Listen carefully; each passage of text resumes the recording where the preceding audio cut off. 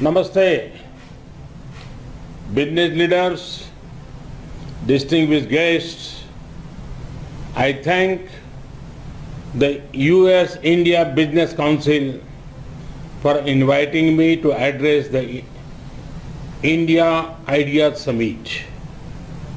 I also congratulate the US IBC on its 45th anniversary this year. Over the past decades, the US IBC has brought Indian and American business closer. US IBC's choice of this year's summit, Idea Summit, building a better future, is also very, very relevant. Friends, we all agree that the world is in need for a better future. And it is all of us who have to collectively give shape to the future. I firmly believe that our approach to the future must primarily be a more human-centric one. Our growth agenda must place the poor and vulnerable at the core. Ease of living is as important as ease of business. Friends, recent experience has taught us that the global economy has been too focused on efficiency and optimization. Efficiency is a good thing, but on the way we forgot to focus on something equally important that is resilience against external shocks. It has taken a global pandemic to remind us how important resilience is. Friends, global economic resilience can be achieved by stronger domestic economic capacities. This means improved domestic capacity for manufacturing, restoring the health of the financial system and diversification of international trade.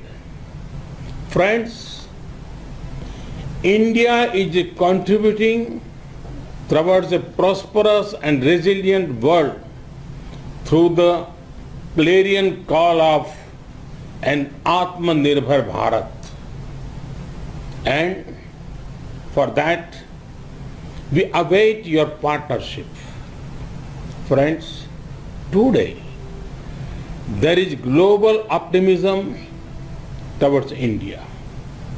This is because India offers a perfect combination of openness, opportunities and options. Let me elaborate. India celebrates openness in people and in governance. Open minds make open markets. Open markets lead to greater prosperity. These are principles on which both India and the USA agree. Friends, during the last six years, we have made many efforts to make our economy more open and reform oriented. Reforms have ensured increased competitiveness, enhanced transparency, expand digitization, greater innovation and more policy stability. Friends, India is emerging as a land of opportunities. Let me give you one example of the tech sector. Recently, an interesting report came out in India. It said, for the first time ever, there are more rural internet users than even urban internet users. Imagine the scale. There are about half a billion active internet users in India now. Half a billion connected people. Does this sound huge to you? Hold your breath because there are over half a billion more people who are being connected. Opportunities in technology also include opportunities in frontier technologies of 5G, big data analytics, quantum computing, blockchain, and Internet of Things. Friends, the options to invest in India are extensive. India invites you to invest in the hard work of our farmers. India has done historic reforms in the agriculture sector recently. There are investment opportunities in agriculture inputs and machinery, agriculture supply chain management, ready to eat items, fisheries, and organic produce. India's food processing sector is expected to be worth over half a trillion dollars by 2025. To grow more streams of revenue, the best time to tap investment opportunities in Indian agriculture sector is now. India invites you to invest in healthcare. The healthcare sector in India is growing faster than 22% every year. Our companies are also progressing in production of medical technology, telemedicine and diagnostics. India and the US have already built a robust partnership in the pharma sector to achieve scale and speed. Now is the best time to expand your investment in Indian healthcare sector. India invites you to invest in energy. As India evolves into a gas-based economy, there will be big investment opportunities for US companies. There are also big opportunities in the clean energy sector to generate more power for your investments. This is the best time to enter the Indian power sector. India invites you to invest in infrastructure. Our nation is witnessing the largest infrastructure creation drive in our history. Come, be a partner in building housing for millions or building roads, highways and ports in our nation. Civil aviation is another area of great potential growth. The number of air passengers are expected to more than double within next eight years. The top private Indian airlines plan to include over a thousand new aircraft over the coming decade. This is a huge opportunity for any investor who choose to set up manufacturing facilities in India which can become a base for supplying regional markets. A similar case is obvious for setting up maintenance, repair and operation facilities. To give flight to your aviation targets, this is an ideal time to invest in the Indian aviation sector. India invites you to invest in defense and space. We are raising the FDI cap for investment in defense sector to 74%. India has established two defense corridors to encourage production of defense equipment and platforms. We offer special incentives for private and foreign investors.